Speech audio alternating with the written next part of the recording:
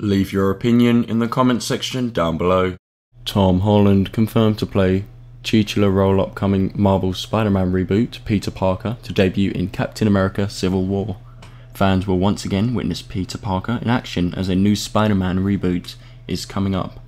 The upcoming reboot is set to focus on the younger Peter Parker and will include new villains. Spider-Man will also appear in the big screen soon, as he is set to make his debut in Captain America Civil War. Thanks for watching guys, this has been Mix Epic News.